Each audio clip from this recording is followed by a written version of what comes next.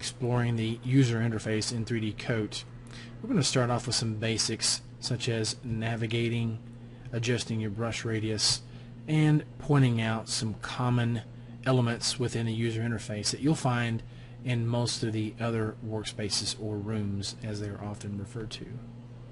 Okay, let's start off by going to the upper right hand corner and covering the navigation bar. The first icon here tells you that it's adjusting essentially the ambient light in the scene. The second one is more of a spotlight intensity. The third one actually adjusts the position of the light. Okay, now we get into the navigation part, and that is rotating about your scene, pan, and zoom. This one adjusts your field of view. And these two allow you to frame the camera. The first one will frame the entire object within the viewport, as you can see. The other one, this icon is almost not even necessary here because the intention is to focus on your pen. If your pen is up here, it's not going to help you much. So what you want to do is use your hotkeys that you see here noted in this tooltip and that's shift Z. Okay so let's say I want to hover over the thumb here and, and work in this area. I can hit shift Z. And if I hit shift A which is this first framing icon will frame the entire object Okay. This next icon will restore you back to a default camera position.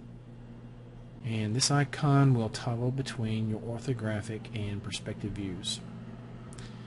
Now if we come over to this portion, we have a little drop list here. You can choose different navigation presets.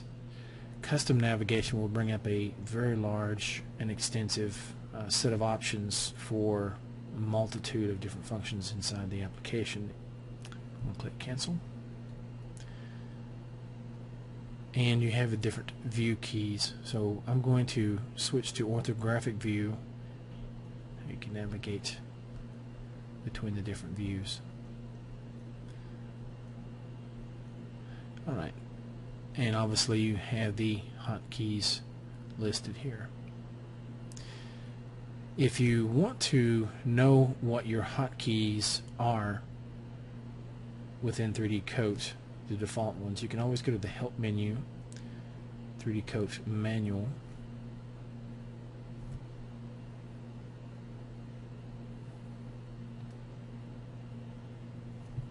keyboard shortcuts. And you have a a list here. And you could print these out. That way you have them nearby on your uh, desktop if you like.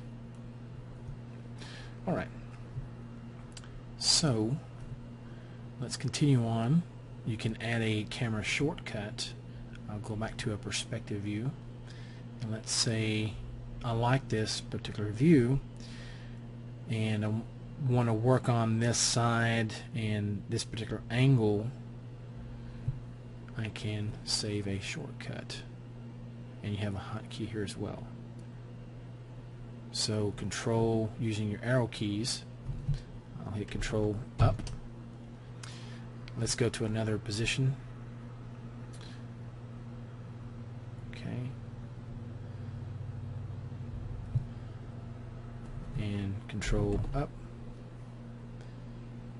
And now if I want to toggle between them, control right arrow key.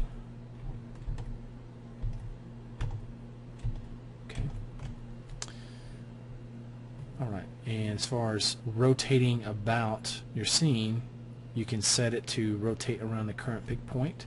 So if I'm put my cursor here toward the head, it will rotate around this. If I put it here, it'll rotate about wherever I have my pick point. World center,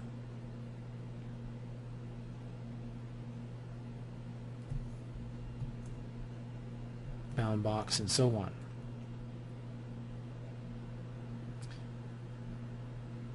Okay, so now that we've done that, let's look at hotkey navigation. In 3D Coat, it's actually rather simple. If you elect to use 3D Coat's default, okay, you don't even need hotkeys to navigate. You can simply click outside the object and orbit about your model. You can middle mouse click to pan and this also works in many other areas such as the UV preview panel. If you find an open space, middle mouse click, you can pan. Alright. Right click and zoom, same thing. Any of these large panels such as the UV or the texture editor panel which we are uh, going to address here shortly, the same thing applies. Right click to zoom in and out. Right click and drag I should say. Middle mouse click and drag. You could elect to go with uh, Maya defaults. Okay now if I drag you see it's doing nothing. I have to use my alt key. So if that's what you're accustomed to using that's what you prefer um, there you have it same thing alt middle mouse uh, alt right click and drag left and right to zoom in and out. There's also ZBrush like as well. You can also turn off the tooltips at the bottom here. And you can do a lot of customization. Uh, if the layout here is not to your liking, you can, just as you would in Photoshop, simply pull out a panel and dock it somewhere else. Okay. And you can see a preview of where it will land it. So now it's actually sharing the same space with these other panels. Okay, so I'll place it there again. Now let's talk about adjusting your brush size. Whenever you hover over an object, you can right click Hold and drag left and right to increase or decrease the scale of your brush. Right click and drag up and down will increase the intensity of the brush. You can also adjust these in the toolbar here at the top. Adjust the depth as well as the brush radius. This is a bit more interactive as you can see the result in the viewport as you're working. Okay, so let's point out some commonalities that you'll find within the application. Your toolbars will be to the left hand side of the screen just as you would see in Photoshop. If you go to tweak room, the same thing. Retopo room, UV, and the voxel room. Okay, let's go back to the voxel room just a quick second. And I want to point out that you have a number of different options for what you see here in the tool panel. If you go to the upper left hand corner you can click this little arrow and it will tell you that you can hide it okay temporarily now if you hover over here in the area where the E panel resides it will pop up for you but you can also hit the E key to bring that up so you can click this little arrow to bring your tool panel back up you can also click here to adjust the size of the button or to switch between icons only, a different arrangement of icons, as well as text only. Now the paint room, the intention is to be as much like Photoshop as possible so that texture artists can just jump right into 3D Coat and get started right away without uh, a huge learning curve. So this will stay static. Okay, there won't be any changes here. So let's uh, now move on to the layer panel. Okay, much like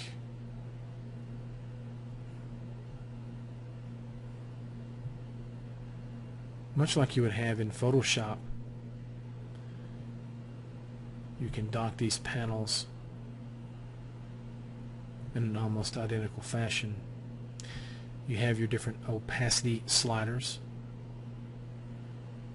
different blending modes that you can choose including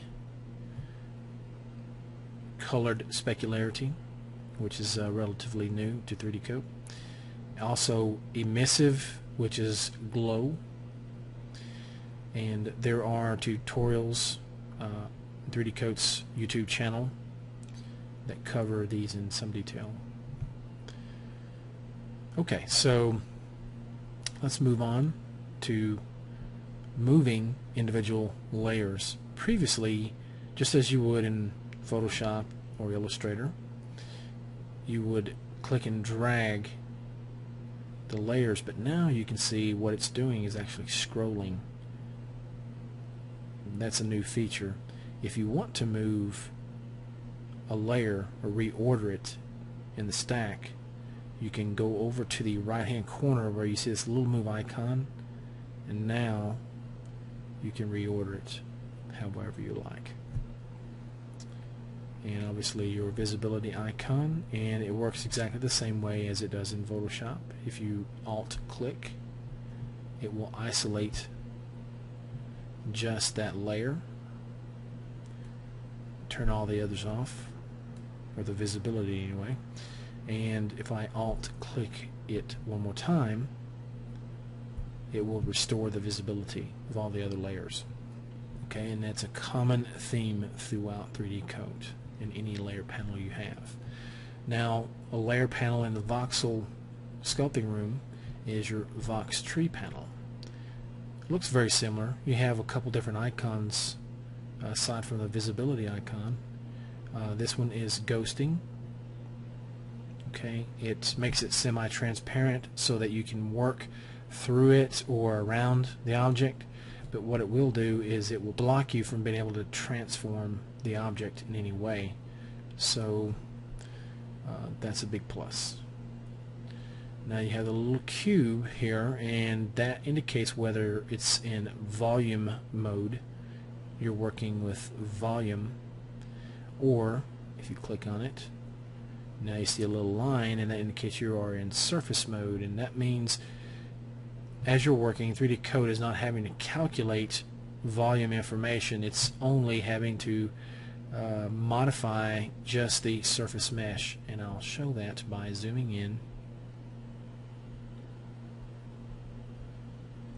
and holding the W key. Okay, and you can see the mesh that we're talking about here. Alright. So when you are voxel painting, you are actually painting on the vertices of this mesh.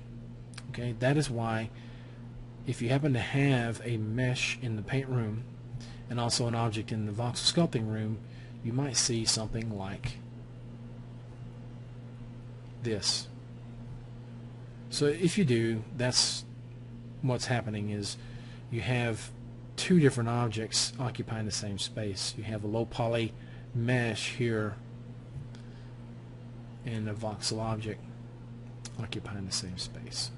If you don't want the voxel object showing, go to the view key and uncheck show voxels in paint room. Okay, so we're going to stop right there and pick up in the next video where we'll cover some of the other panels such as the blending panel, strips, options, brush options, and then cover the texture editor. Okay, so stay tuned.